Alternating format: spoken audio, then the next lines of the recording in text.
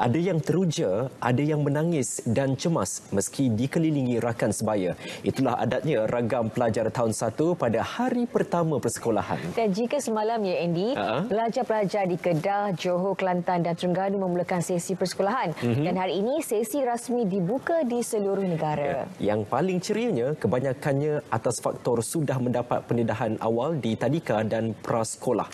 Bagi yang gelisah pula, ada sekolah yang sudah mengambil inisiatif mencurikan mereka. Kita saksikan.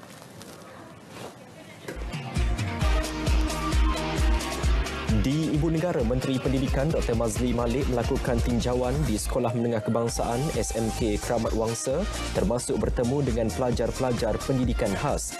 Tahun ini 421 program pendidikan khas integrasi PKKI baharu dengan 1109 kelas bakal disediakan kepada lebih 7591 orang murid berkeperluan khas MBK Selain ke SMK Keramat Wangsa, Dr. Mazli turut menyambut pelajar tahun 1 Sekolah Kebangsaan Setiawangsa.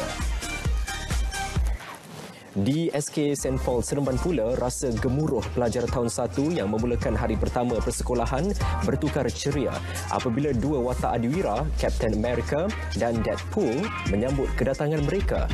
Kedua-dua adiwira itu menanti kehadiran pelajar seawal 6.40 pagi lagi. Sesi di dalam bilik darjah juga lebih ceria dengan gelagak bersahaja Captain America dan Deadpool.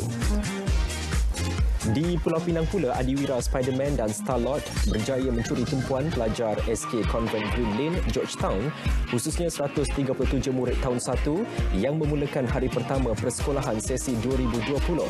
Guru Besar Sekolah, Nur Azian Ahmad berkata, ini adalah kali pertama pihaknya membawa watak Adiwira itu bagi menarik minat dan semangat murid untuk datang ke sekolah.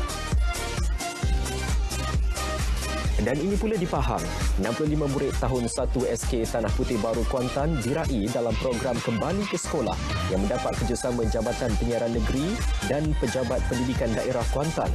Turut diadakan pertandingan berwarna, nyanyian dan tarian selain turut diraihkan oleh juruhebah-juruhebah Pahang FM yang tampil berpakaian sekolah.